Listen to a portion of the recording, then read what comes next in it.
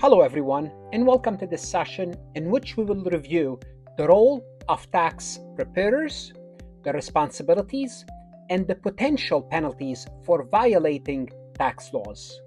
This is an important topic whether you are studying for your CPA exam or the enrolled agent exam. Let's start real quick. Who is a tax preparer? A tax preparer is anyone who prepares tax return for compensation you prepare the taxes and you get paid for it. You become what's called a tax preparer. While tax preparers don't need formal licenses like CPAs, they must have something called a PTIN, Preparer Tax Identification Number for short PTIN. It's also crucial to distinguish between tax preparers and tax practitioners. Tax practitioners are like CPAs and enrolled agents who can represent clients before the IRS. It's also important to distinguish between two types of tax preparers signing preparers and non signing preparers. And we will discuss those a little bit more in details. Everything I'm mentioning here, we'll discuss it a little bit more in details during the lecture. Now, bear in mind, tax preparers must exercise due diligence. What does that mean? It means they want to make sure they are accurate in their tax claims. They don't have to audit the clients, but they cannot ignore obvious issues like incomplete or inaccurate information when they should have known something is obviously incorrect. Now, violation of due diligence can result in fines depending on the severity of the issue. It could go from a simple mistake, it could range from a simple mistake up to a fraud. But your job is not to audit, but you have to do what's called due diligence, and we'll discuss a little bit more in details. Also, significant penalties will apply for filing incorrect claims or taking unreasonable position or failing to disclose reportable transaction.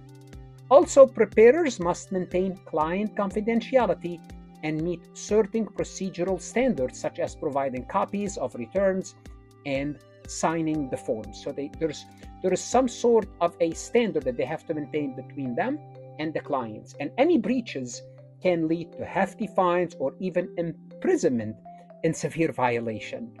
So, this is what we will discuss in this session. We'll expand on every topic that I mentioned in the introduction. Let's go ahead and get started in discussing this important topic. Farhat Accounting Lectures is a supplemental educational tool that's going to help you with your CPA exam preparation as well as your accounting courses. My CPA material is aligned with your CPA review course such as Becker, Roger, Wiley, Gleim, Miles. My accounting courses are aligned with your accounting courses broken down by chapter and topics. My resources consist of lectures, multiple choice questions, true false questions, as well as exercises. Go ahead, start your free trial today. So, who is this group, tax return preparer? Well, simply put, any person who prepare taxes for compensation. Now, any person that prepare taxes for compensation, we're going to have some clarification about this in a moment. We're going to determine who is not considered or who also employs one or more person to prepare for compensation. You either do it yourself or you hire someone and you pay that someone, okay, to prepare all or a substantial portion of any return of tax or claim of refund under the Internal Revenue Code. Tax return preparer are different than tax practitioners. Tax practitioners required a license like a CPA, EA, attorney, and we talked about tax tax practitioner when we spoke about Circular 230 in another recording. Remember, tax practitioners, they have unlimited representation right before the IRS, so they can represent you in front of anyone the, at the IRS. Tax preparer, they are, they have, they are, they have a PIN number. That's how they are known by, as their tax preparer, and they have limited representation before the IRS. So anyone can be a tax preparer. Simply put, you will file uh, paperwork with the IRS, you will obtain a P, a PTIN, and you will start to prepare return. You don't have you, returns. You don't have to be an attorney, an EA, pass any exam or anything like that.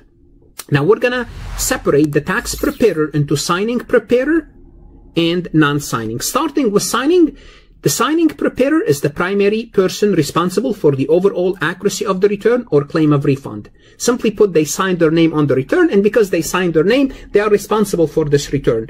Now, oftentimes, especially in for large return or for you know high net worth clients you might have or businesses that work uh, if if, if, if an individual has businesses in several states you might have multiple parties engaged. The person that signs the return is the primary person. That person is responsible. Okay you can have a multi-state situation international tax return. The person that put their name on the return the preparer's name preparer's signature this is it. This is the signing preparer the non-signing preparer, obviously, they have no primary responsibility of the overall return or the claim of refund because the primary person does. They assist. They're not just mechanical or clerical or intern. Non-signing preparer, they did some substantial work, but they are not primarily responsible. Include will, uh, in, uh, Example would include preparers who provide advice that constitute a substantial portion of the return. You did, you're not, so simply put, you are not clerical. You're not just kind of shuffling paperwork. You're not just collecting information. You are doing some work, but you're still not the primary responsible for the return. For example, an attorney provide work paper for total revenue. The attorney for this client add up all the revenue and gave it to you as an Excel sheet. Okay. Let's look at the persons who are not tax preparer they are not considered tax preparer. Well, if you are an employee at a company and that's what you do, you prepare your your your employer's tax return, you are not considered a tax preparer. If you have a fiduciary duty and you're preparing a trust, the return for a trust, you are not a tax preparer. A person who prepare a refund claim in response to a notice deficiency, notice not an original claim. And be careful. You, you want to know those, those, that group that's not considered a tax preparer. A person who provides typing, reproducing, or other mechanical assisting, like clerical work, like, you know, usually in, in the question they, they put this in a form of an intern. Any person that provide tax planning, like making projection. Those are not tax preparer. And you could see a question, which of the following is not a tax preparer? So you want to make sure you are aware of that. Okay, how should tax preparer behave? Obviously, they should follow due diligence. Now, what is due diligence? Well, simply put, making factual inquiries to ensure the client's accuracy and truthfulness. And you want to make sure you follow the tax law. Okay. Now you can rely on the client information in good faith. You are not auditing them. That's fine. But you cannot ignore, you cannot look the other way if there's any conflicting information, information appear to be incomplete, or inaccurate, you have to make reasonable inquiries if, the, if that's the situation. Okay? So just basically simply ask them. Make the appropriate inquiries about the existence of documentation. Okay? Ask them if they have any proof for the cash charitable contribution, uh, contribution that they are, that they are claiming. Just simply ask. And if they say yes, you're going to have to go with that. As long as there's no reason otherwise to believe otherwise. Okay? Now also when you discover that a taxpayer made an error or an omission uh, from any document filed with the IRS, you must let them know about the error or the omission immediately and let them know about the consequences. And we talked about this in Circular 230. Tax preparer, are, are, they have to follow this due diligence. Okay, what happened in case of violation? Obviously, penalties are imposed. Now, you're going to have different penalties for different violations. Not all violations are the same. And also the supervisors at certain firms will be subject to that penalty as well. Now we're going to look at certain terms that you need to be familiar with um, in order to understand uh, the responsibility of the tax preparer. For one thing is substantial authority. What is, when we say substantial authority? Substantial authority means what are we relying on to determine whether something is an income to be included as income or something is a deduction so we can deduct it. Okay, this is part of your due diligence. You have to make sure you rely on substantial authority. What is considered substantial authority? Well, the primary authorities include provisions of the IR uh, Internal Revenue Code, of course, any final regulation by the IRS, revenue ruling by the U.S. Treasury Department, and court cases. Those are considered primary authorities. What's considered not primary authorities? Internal Revenue Bulletin, administrative pronouncement, administrative pronouncement, and any press releases. Those are not primary authoritative uh, authorities. Now, you need to know what is a frivolous submission. So what is a um, when is a return is considered a frivolous return? Well, when you omit information necessary to determine the tax liability, you are not including everything. you saw a substantial uh, incorrect tax or willful understatement of tax liability. You're just understating, you're simply put underreporting your tax liability, and you are doing this on purpose. You have a desire to impede the collection of the tax. You're trying to hide this information. Let's take a look at more terms that you need to be familiar with. Reportable and listed transaction. What is a reportable transaction? A reportable transaction is a transaction that's specifically identified by the Secretary of the U.S. Treasury as either a tax avoidance, Avoidance is a legal use to reduce your tax liability. It's nothing illegal or tax evasion. But when, but when a transaction is considered reportable, you need to know what does that mean, a reportable transaction. A listed transaction is a transaction of one of the types of the transaction the U.S. Treasury has determined to be tax avoidance. Tax avoidance is legal again it's legal to reduce your tax liability. So just, but you need to know what they are. Now, what is tax, what is this reportable and listed transaction? Simply put, certain transaction, they could be subject to abuse, subject to fraud. Subject, that doesn't mean they are. They are susceptible to that. Therefore, what you have to do is you have to disclose them. And there's a form, you don't have to worry about this. And the reason I'm showing you this is to kind of illustrate the concept so you understand what this reportable and listed item 45472 and specifically, for example, here, this is an example of reportable transaction, monetary transaction between the reporting corp corporation and a foreign related party. So you are dealing between a, corp a U.S. corporation and a, and a related party that's foreign.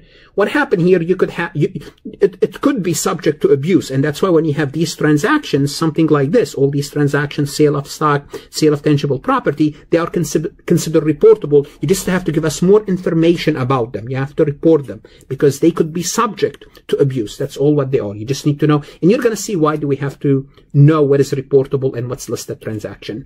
More terms and not terms, basically terms or standard you need to be familiar with and certain percentages.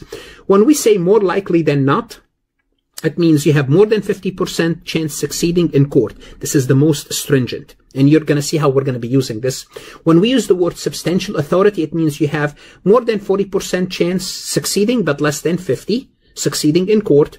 Reasonable basis with disclosure, if you have reasonable basis and you disclose it. So basically, uh, you are taking a position, but you're disclosing the position and you have more than 20% chance of your position being upheld. And you're going to see how we're going to be using this. And arguable means you have less than 20% chance of your position being held in court. Now, why do we need to learn about these things?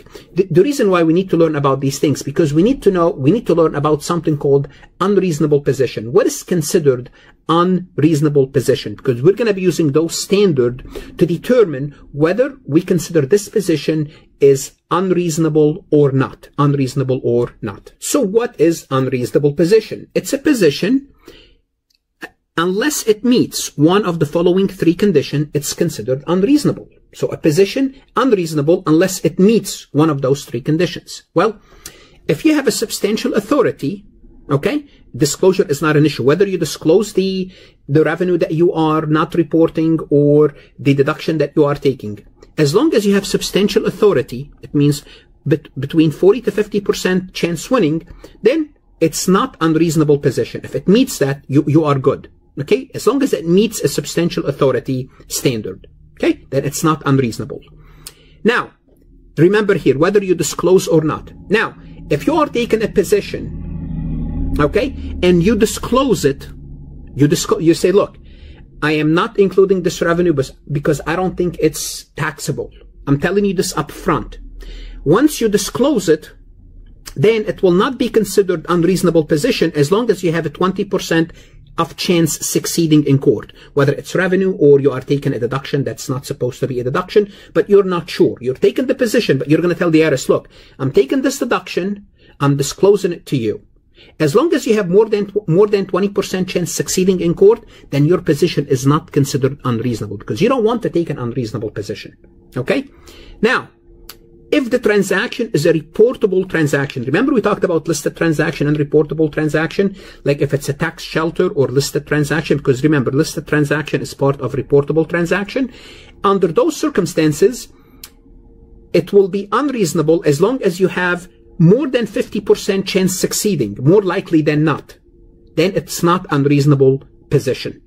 So notice when it's a reportable transaction, the standard is higher. You have to really have, have a good chance of winning if it's a reportable position. If it's, if you disclose it, you just need more than 20% chance. If you have a substantial authority for a position, it will not be considered unreasonable and, and, uh, as long as you have 40 to 50% chance. Now you're saying, how do we measure these chances? Those are subject, subjective numbers. But, but the key is to kind of understand the big picture. Now there's a penalty for unreasonable position. Now when you take an unreasonable position, you could take it for, uh, with two things in mind. You could have fraud or you could be just negligent. Okay, what's negligent? It means it, you did not do it intentionally just basically you failed, it's an error. The penalty is $1,000 or 50% of the income you derived from that transaction. And negligence would include any failure to make reasonable attempt to either comply with the provisions of the law of the IR, um, Internal Revenue laws or exercise ordinary and reasonable care in preparation of the return. So that's that's the penalty. For fraud, fraud is different. Fraud is intentional. It's purposeful. It's misleading. It's willful. It's reckless. If you are taken an unreasonable position, and you are committing fraud, the penalty obviously is higher. There are penalties for endorsing a check. The penalty is $635. What's it, what's endorsing a check? Basically when the tax the, the taxpayer receives their check from the IRS, the refund. Well, if they want to give it to someone else, if they want to deposit this check, if they want to sell this check, if they want to negotiate this check, they will endorse it. Endorse it means sign it on the back you know sign for deposit only sign to you know to another person. The the tax preparer cannot negotiate cannot endorse that check. They cannot endorse it or otherwise negotiate any check issued to a taxpayer. So simply put that check is the taxpayer not the preparer. Also any tax return preparer who operates a check cage check cashing agency basically a store an agency that cashes, endorses, or negotiates tax refund checks for returns prepared also subject to a penalty. Also, if you say, well, it's not me, it's the agency, well, if that's your agency, it's you.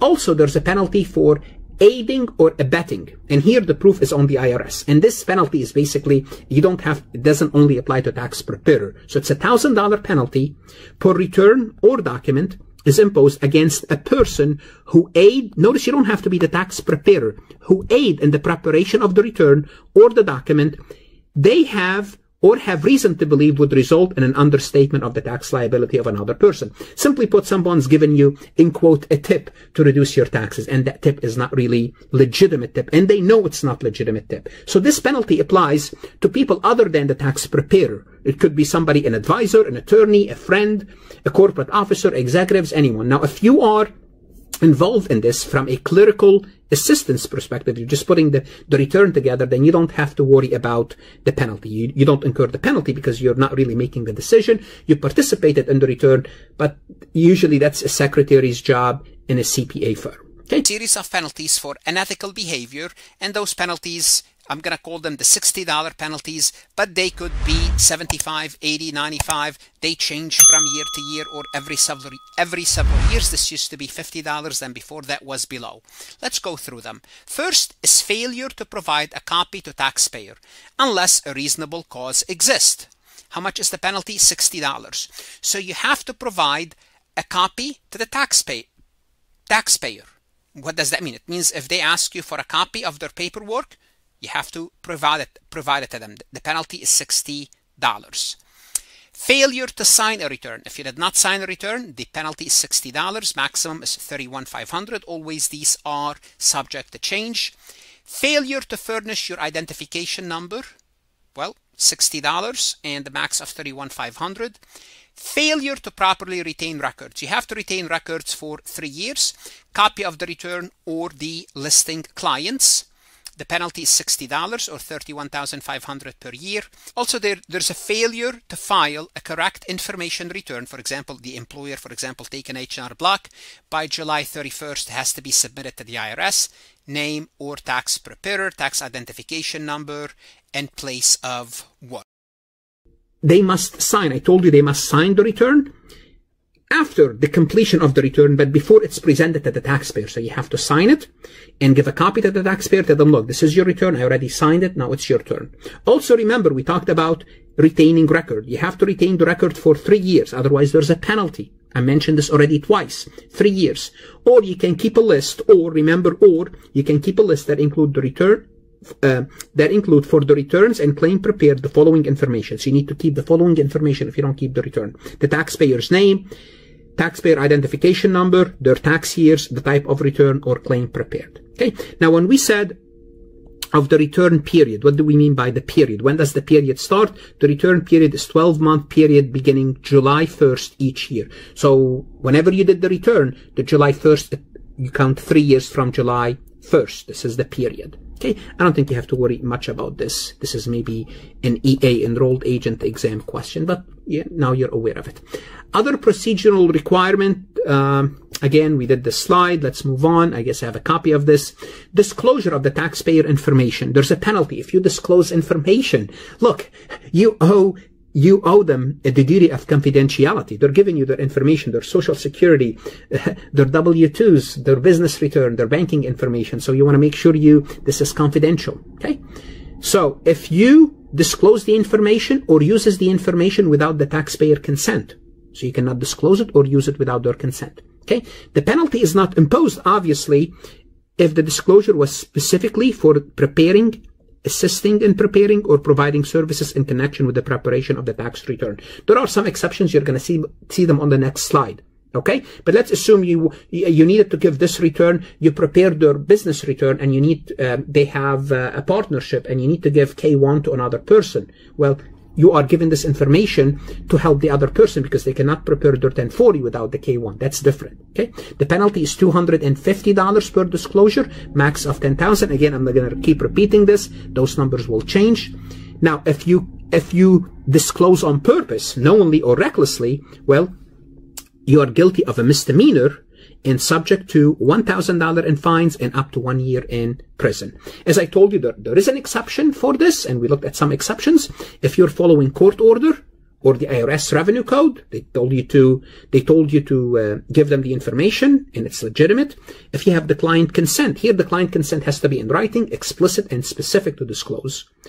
Again, if you want to give the uh, tax return within the same firm, for example, somebody else would like to review the return within the same firm, for the purpose of quality or peer review to the extent necessary to accomplish the review. Simply put, CPA firms, what they do, um, you have your business, you know, CPA firm, and we have CP, CPA firm A, uh, they will hire CPA firm B to check their paperwork. And, you know, why? It's quality control. They want to make sure they want to bring new sets of eyes, an external party. It's part of their quality control. That's okay as long as it's for that limited purpose. Again, for the use in assisting or preparing, providing services in connection of a tax preparation. As I said, it's K1, or you're providing the return for another individual or another party to prepare their state or local return. That's perfectly fine. That's perfectly fine. Those are exceptions, and I spoke about this exception earlier.